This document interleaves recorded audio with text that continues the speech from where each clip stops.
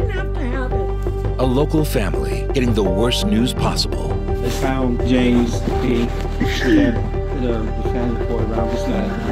An inmate dead by suicide at the Allen County Jail. Definitely makes me angry. 21 investigates with new video from inside the jail to figure out exactly what happened. It wasn't like someone made a little mistake. I mean, someone's dead now.